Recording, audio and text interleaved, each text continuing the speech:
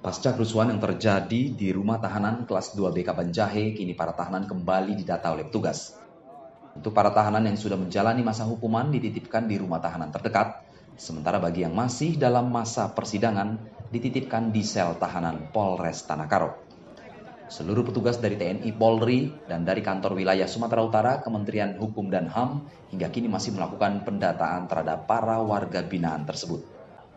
Untuk rumah tahanan terdekat ada empat, yaitu Rutan Dairi, Lapas Binjai, Lapas Narkotika Langkat, Lapas Tanjung Gusta Medan, dan Lapas Wanita Tanjung Gusta Medan. Pihak kepolisian juga masih melakukan penyelidikan penyebab pasti terjadinya kerusuhan.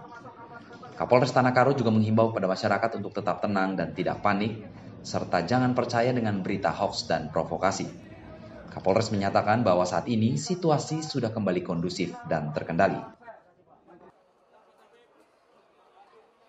Kebetulan juga tim lapor dari cabang lapor dari Polda Sumatera Utara sudah bekerja bersama-sama dengan Satreskrim Polres Tanah melakukan penyelidikan penyebab terjadinya kebakaran.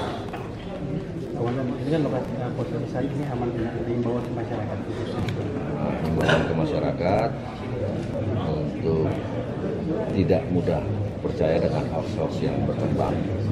Yang jelas situasi kondisi wilayah hukum Polres Tanah Karo, Kabupaten Karo dalam keadaan aman dan kondusif.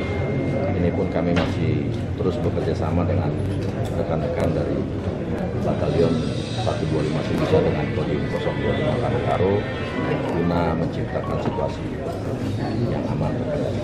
Baik. Dari Sumatera Utara, Surya Rambe, Tribrata TV, salam Tribrata.